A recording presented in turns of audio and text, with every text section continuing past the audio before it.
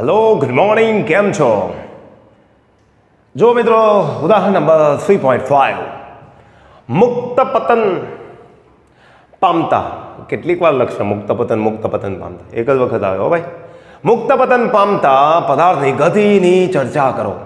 ભાઈ મુક્ત પતન થાય એની ચર્ચા. જેમ કે, જમીનથી તો મેં થોડીક ઊંચાઈ આવો, અને પદાર્થને છોડી દો આમ છોડી દો તો જે પતન થાય એને કહેવાય મુક્ત પતન રાઈટ તો જે નડતા હોય એવા વ્યક્તિને બહુ હાઈ રાઇઝ ઉપર લઈ જવાય અને મુક્ત પતન કરાય. વાહ સર વાહ. ઓકે કંઈ વાંધો નહીં. ચાલો મુક્ત પતન પામતા પદાર્થની ગતિની ચર્ચા કરો. હવાનો અવરોધ અવગણો. ભાઈ, આ મુક્ત પતનની જ્યારે પણ વાત થશે ત્યારે આપણે હવાનો અવરોધ ધ્યાનમાં લઈશું નહીં. જે ગતિને અવરોધે તમને ખબર છે. લેટ સી તો પહેલાં તો આપણે મુક્ત પતન માટે વાત કરવાની છે. તો હું પહેલાં અહીંયા લખી દઉં મુક્ત પતન યાદ રાખજો. કોઈ પદાર્થ મુક્ત પતન થાય, ભાઈ મુક્ત પતન પામતો કોઈ પણ પદાર્થ, જેમ કે અહીંયા ગ્રાઉન્ડ છે. ગ્રાઉન્ડ એટલે જમીન. એનો હંમેશા મિત્રો પ્રારંભિક વેગ, જેને તમે યુ પણ કહો છો વી ઝીરો પણ કહો છો, એ ઝીરો જ આવશે. તો પહેલી શરત ભાઈ મુક્ત પતનની, મુક્ત પતન ફેંકવાનો નથી, છોડી દેવાનો. તેનો પ્રારંભિક વેગ કેટલો હોય? ઝીરો આ નીચે આવવાનું કારણ કોણ? ગુરુત્વાકર્ષણ બળ. કોણ? ગુરુત્વાકર્ષણ બળ. અને હવે બળ લાગે તો આમાં પ્રવેગ ઉત્પન્ન થાય. તો જે પ્રવેગ ઉત્પન્ન થાય તેને તમે કહો છો ગુરુત્વ પ્રવેગ. ઓકે તો પહેલા વ્યાખ્યા લખી દે ભાઈ ગુરુત્વ પ્રવેગ. ગુરુત્વ પ્રવેગ જેને તમે જી વડે દર્શાવવાનો છો, દર્શાવો છો. તો મુક્ત પતન મુક્ત પતન પામતા પદાર્થમાં ઉદ્ભવતા પ્રવેગને, ઉદ્ભવતા, ભાઈ વેગ વેગ વધતો જાય ને, તો પ્રવેગ ઉત્પન્ન થાય. ઉદ્ભવતા પ્રવેગને પ્રવેગને ગુરુત્વ, પ્રવેગ કહે છે. ગુરુત્વ હું લખે લખે લખે, પ્રવેગ પ્રવેગ પ્રવેગ કહે છે. ન લખો બીજું પણ ગુરુત્વાકર્ષણ બળની અસર હેઠળ, ઓકે, ઉદ્ભવતા પ્રવેગને ગુરુત્વ પ્રવેગ કહેવાય. પણ હું આમ ફેંકું તો પણ એ ગુરુત્વાકર્ષણ બળને કારણે નીચે આવે.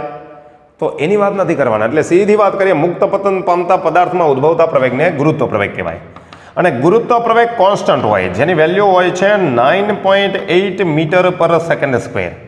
હું મૂલ્યની વાત કરું છું. શું વાત કરું છું? ભાઈ, મૂલ્ય. અને સરળતા માટે આપણે લખીએ છીએ દસ metre per second square round square આ પ્રવેગનો અર્થ શું? પ્રવેગ કોન્સ્ટન્ટ હોય, અચળ હોય.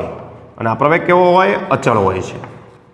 ઓકે, બીજી એક વાત કહું. જી એ પદાર્થના દળ પર આધારિત નથી. વાહ, સર, વાહ. આધારિત નથી. આ અચળનો મિનિંગ શું? દર સેકન્ડે વેગ દસ જેટલો વધે. જેમ કે હું પદાર્થને મુક્ત પતન કરું તો પહેલી સેકન્ડને વેગ દસ. બીજી એ દસ વધે તો વીસ. ત્રીજી એ ત્રીસ. સિમ્પલ ખબર પડી જાય. ઓકે મેં કોઈ પદાર્થ છે મારી મારા હાથમાં? મેં ઉધ્વ દિશામાં ઉછાળ્યો. તો પણ પ્રવેગ નીચે તરફ જ હોય. તો પ્રતિપ્રવેગ ઉત્પન્ન થાય. શું થાય? પ્રતિપ્રવેગ. વેગ ઘટશે. ઉપર જાય તો વેગ ઘટે. પણ ગુરુત્વ, શિરોલંબ ગતિ આવે, તો એમાં ગુરુત્વ પ્રવેગ જ આવશે. તો ઉધ્વ દિશામાં વેગ ઘટે. અધો દિશામાં વેગ વધે. અધો ખબર પડે ને? નીચે તરફ. અને એ પદાર્થના દળ ઉપર આધારિત નથી. જેમ કે આ ચોકનું મુક્ત પતન કરું તો આમાં કેટલો પ્રવેગ ઉત્પન્ન થાય? દર સેકન્ડે વેગ કેટલો વધશે? દસ. તો આમાં પણ ગુરુત્વ પ્રવેગ દસ હોય. કોઈ રિક્ષા, કોઈ ટ્રક, ટ્રેન અને તમને મુક્ત પતન કરાવે. સર, હું વાત કરું. તો એમાં પણ ગુરુત્વ પ્રવેગ દસ જ હોય. આવું કંઈ થોડું હોતું હશે? એવું જ હોય. આઈડિયા આવે? તો ગુરુત્વ પ્રવેગ કોના પર આધારિત નથી? પદાર્થના દળ ઉપર.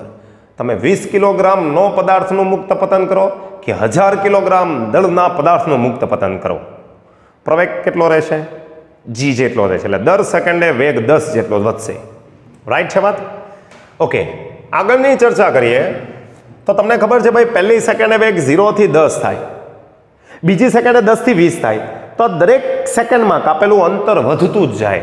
તો એનો આલેખ આવશે ભાઈ. અને એ પહેલાં હું સમીકરણમાં તમને મેળવી દઉં છું. અચળ પ્રવેગી ગતિના સમીકરણો તમને ખબર છે. વી બરાબર V zero plus A T okay પહેલું સમીકરણ. આ પહેલું સમીકરણ છે. અને યાદ રાખજો, ગુરુત્વ પ્રવેગમાં ઉધ્વ દિશાને આપણે પોઝિટિવ ગણીએ અને અધો દિશાને આપણે કેવી ગણીએ? નેગેટિવ મજાની વાત એ છે ભાઈ. આ વેગ હું મેળવું વેગ તો પ્રારંભિક વેગ ઝીરો ગુરુત્વ પ્રવેગ માઇનસ જી નીચે તરફ. આ માઇનસ જીનો અર્થ પ્રતિપ્રવેગ નથી થતો, દિશા દર્શાવે.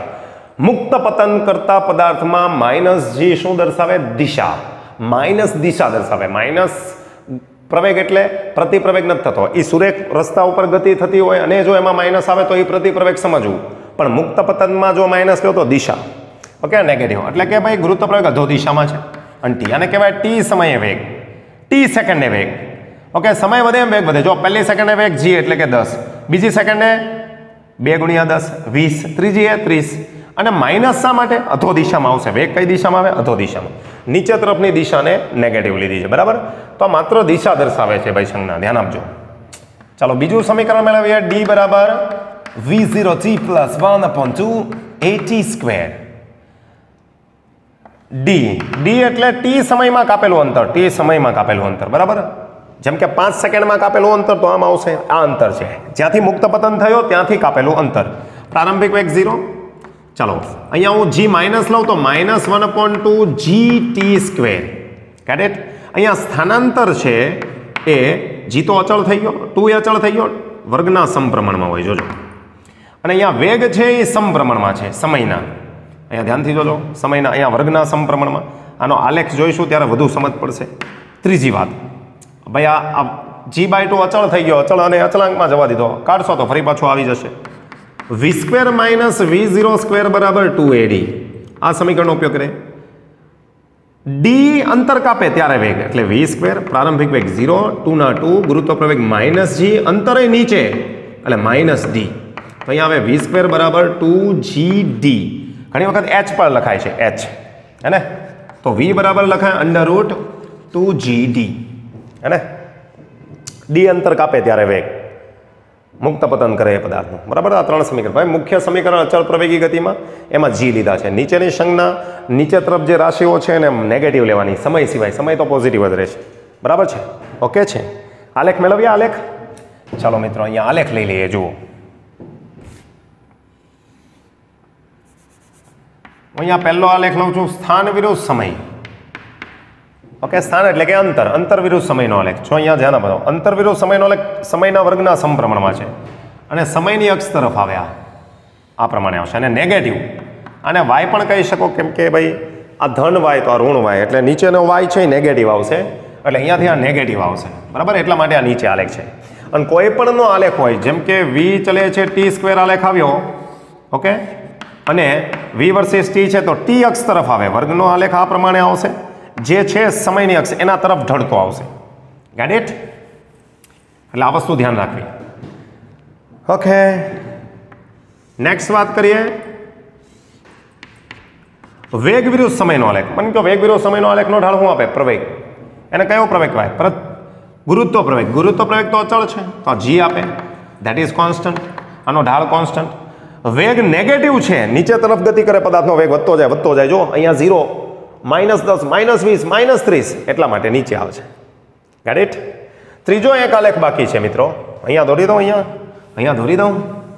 દોરી દો સર, દોરી દો નહીં દોરી દો નહીં ચાલો. લાસ્ટ પ્રવેગ વિરુદ્ધ સમયનો આલેખ. કયો પ્રવેગ છે? ગુરુત્વ પ્રવેગ. ગુરુત્વ પ્રવેગ તો અચળ હોય. દસ, પણ અધો દિશા એટલે માઇનસ દસ. તો અહીંયાથી હું ક્યાંક માઇનસ દસ લખી દઉં અને આ પ્રવેગ મીટર પર સેકન્ડ સ્ક્વેરમાં લખું તો આ કોન્સ્ટન્ટ આવશે. આવો આલેખ આવે. પ્રવેગ વિરુદ્ધ સમયનો આલેખ. કમ્પ્લીટ વાત થઈ ગઈ. તો આ છે ભાઈ મુક્ત પતન પામતા ગતિની ચર્ચા. રેડી એકદમ ઇઝી છે. ફરીથી હું એક વખત યાદ અપાવું. મુક્ત પતન કરતા પદાર્થના કિસ્સામાં તમે સંજ્ઞા પદ્ધતિનો ઉપયોગ કરજો. ઉપરની દિશામાં ત્રણ સંજ્ઞા લેવાની છે. કેટલા આવે? સ્થાનાંતર, વેગ અને પ્રવેગ. ઉપરના વેગ ધન, ઉપરના સ્થાનાંતર ધન. ગુરુત્વ પ્રવેગ બંને કિસ્સામાં અધો દિશામાં આવશે. એટલે ગુરુત્વ પ્રવેગ નેગેટિવ આવશે.